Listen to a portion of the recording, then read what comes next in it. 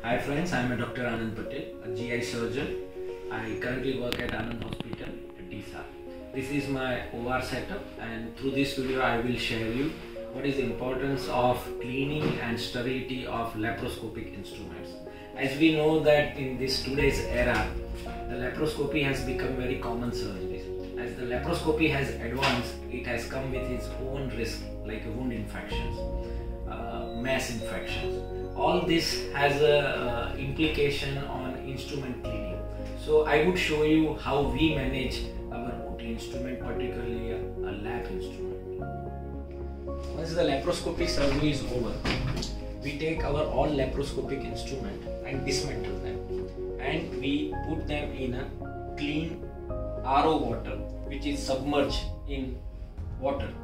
As we know that once we keep the instrument for a longer time outside without soaking in the water, the blood over the instrument get dry and then it is very difficult to clean it up. So the recommendation is that as soon as your laparoscopic surgery is over, try to take out the instrument fast and dismantle them and put them in the water as we can see over here.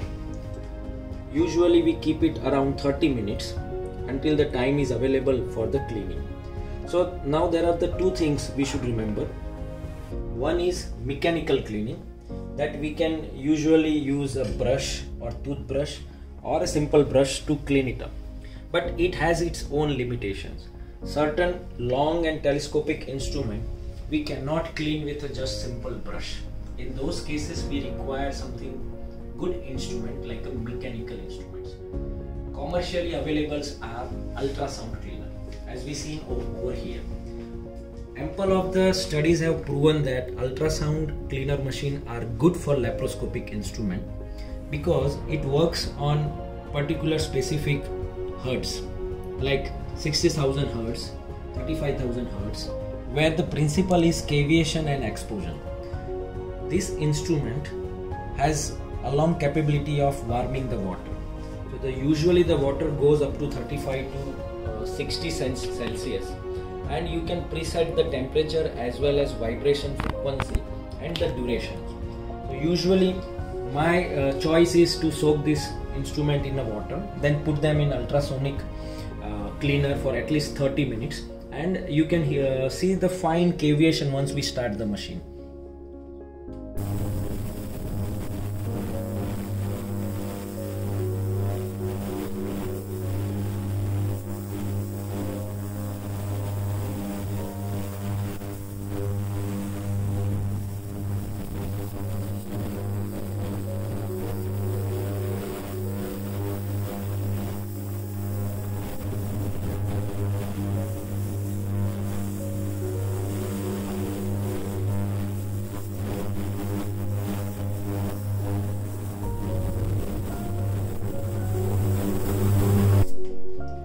Once these instruments are clean then we uh, keep it in a dry area as we can appreciate over here.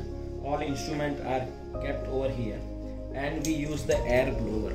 This is very very vital to clean this instrument with the air blower. The thing is that even though we have used the RO water but if we do not dry it then there will be a salt.